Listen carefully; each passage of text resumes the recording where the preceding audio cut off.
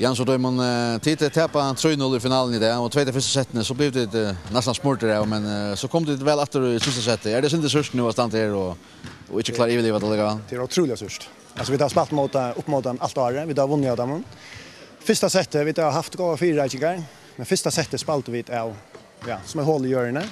Nästa setet skulle det här vara ärna för tar spalt vi. Tar vunnit allt allt det som tillfälligt bultar för ut räga och när vi ut allt Men i tre sättet då har vi funnit akkurat på köra. Vi spelar mot dem alla vägen men där sjuste fyra bollen att det ständer här och jövn. Ta vi tar charger.